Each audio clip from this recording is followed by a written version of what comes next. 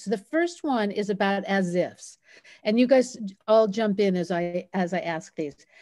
Can you use the same as if for different actions?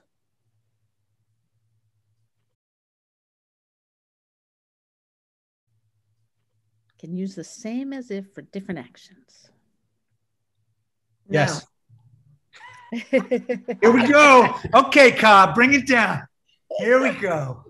well, I feel, I feel like, um, you know, Scott Zigler, who's, you know, another practical aesthetic genius um, among the other, you know, five assembled here.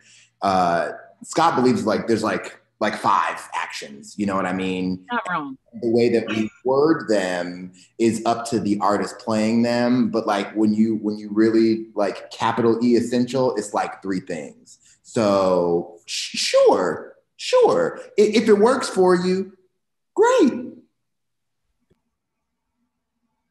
Are we allowed to rebut it? Yeah, go. yeah, yeah, yeah. yeah. I think it's a yes and no answer only because there are often people in your life who are so important and profound and move you that you immediately think of them and you can place them inside of any single experience and and just feel deeply, right? But I do think the purpose of the as if is to be as specific as possible so that then you're acting as specific as possible and you turn your brain off. If your brain is on in any way and connected to to the person the things that you've you've thought about to get you there yeah you cannot defeat the purpose. It's not allowing you to be as free.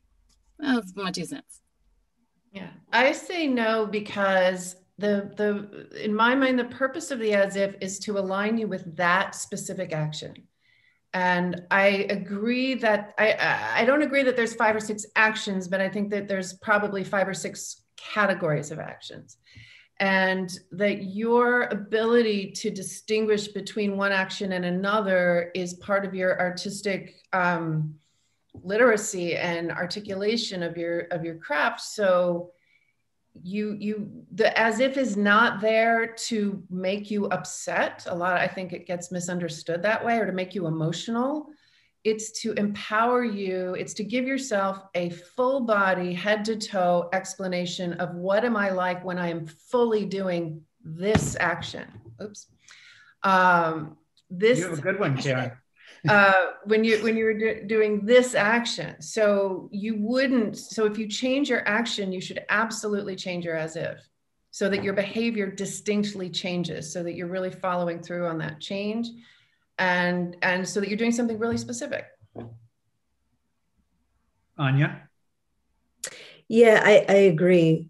And you know um um not to turn this into a debate but uh this this idea of you know there are only five actions or there are only eight actions you know um you know some of some of the geniuses who were my teachers like um Bill Macy, Scott have said this, and you know, it it feels like lightning is going to come down and strike me for uh, rebutting something that they might say because they're so brilliant. But I will say this: for me, in my own work with actors, I'm a director. I'm not. I'm interested in the finest, finest, finest differences in all the different things that a human being might do and so um, I feel like often when I'm analyzing scenes, working with actors on analyzing scenes, I'll, I, I, I often use actions that I've never thought of. I feel like I make up new actions for for most scenes that I work on. And I think what Karen says about there being different categories of actions is probably actually really true, although I'd never really thought about it that way. That that you know and you could say that like this blue violet action is like nearly the same as this you know ultramarine action but I, to me i'm interested in the difference between the blue violet and the ultramarine just these subtle shades of what a person is doing um, is really interesting to me. And i and I, I, I totally agree with with what Chivonne and, and karen were saying about the as if. To me the as if is meant to habitualize to, to allow the actor to embody and then habitualize on a very you know cellular physical level a very specific task. And to me the delight of the the I get excited about what makes it really specific, what makes this scene different from any other scene.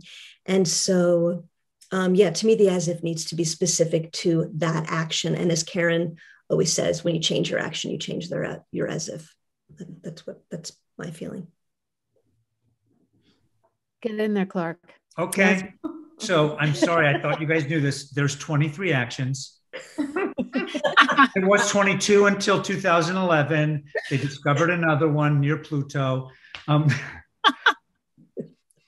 I, I, you know what? I, I find, hmm, I find the process of doing this, and I want to be super clear because some, for some reason I always get asked this.